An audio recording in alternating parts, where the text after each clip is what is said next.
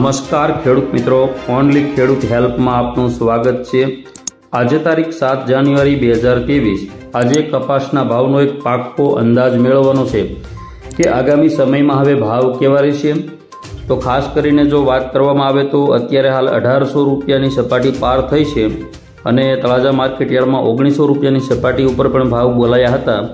તો આગામી સમયમાં પંદર જાન્યુઆરી પછી સ્થાનિક માંગ વચ્ચે અત્યારે કપાસની આવકો યાર્ડમાં એકદમ ઘટી ગઈ છે. બધા ખેડૂતો ઉત્તરાયણ પછી કપાસના ભાવ વધવાના છે એવી આશાએ બેઠા છે. તેવામાં અત્યારે હાલ કોટન વાયદાની જો વાત કરવામાં આવે તો તેત્રીસ હજાર પાંચસો કરતાં પણ વધારે અને યુએસ પ્રમાણે પંચ્યાસી પોઈન્ટ ચોસઠ રૂપિયા પ્લસ ત્રણ પોઈન્ટ ઝીરો છ પ્રમાણે ભાવ બોલાઈ રહ્યા છે.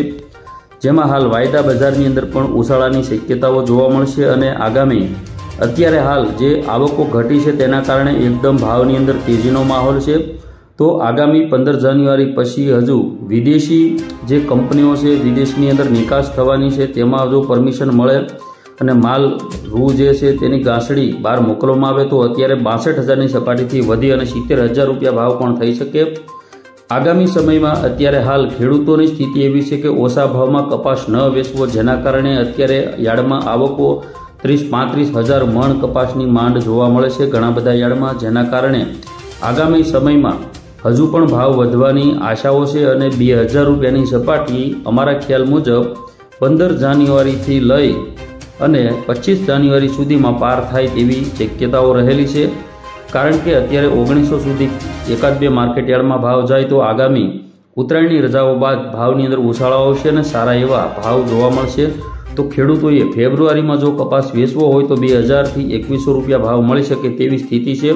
વધારે આશા ન રાખતા બાવીસો રૂપિયા સુધી આ વર્ષે મહત્તમ ભાવ જાય એવું અત્યારનું અનુમાન છે. બાકી ફેબ્રુઆરીના અંદાજો પછી પાકી માહિતી મળતી હોય છે.